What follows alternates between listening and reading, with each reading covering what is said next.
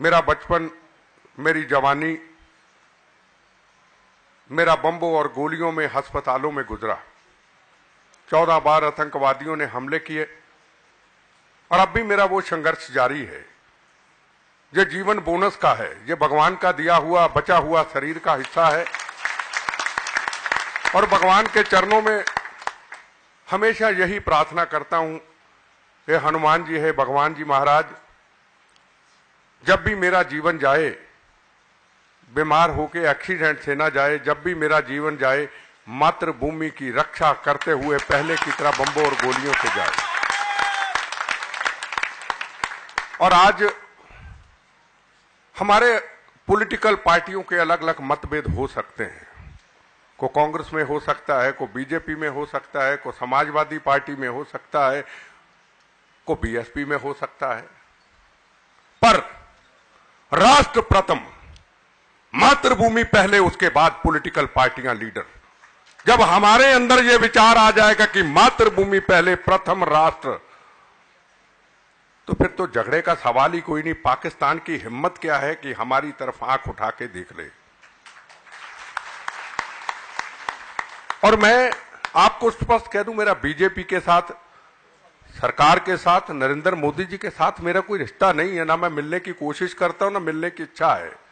पर मेरे बचपन से लेके आज का जो सपना पूरा हुआ है, एक पीवी नरसिम्हा राव ने किया था, उसके बाद आया है नरेंद्र मोदी या कभी इंदिरा गांधी ने, जिसने आज आतंकवादियों के चने चबा दिए। चाइना जैसा कंट्री, जिससे अमेरिका भी काम जाता है इतनी बड़ी ताकत इस दुनिया की। हमारे सरहदों पे आके चाइनीज़ फौजियों ने आगे बढ़ने की कोशिश की। पहली बार हुआ है। हमारे हिंदुस्तान के जवानों ने आपने टेलीविज़न के अंदर बड़े बड़े अखबारों में देखा होगा, मार के जफ्फा पंजाबियों की तरफ़ भगा के वो फेंक दिया, ये नरेंद्र मोदी ने किया। छप्पन इंच की छाती के ऊपर चर्चा बहुत होती है, मज़ाक बहुत उड़ाया जाता है।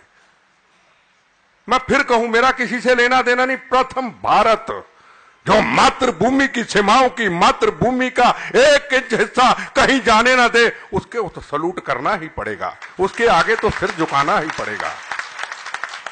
कोई अपने विचार अपने अंदर रख सकता, मैं क्यों बोलता हूँ?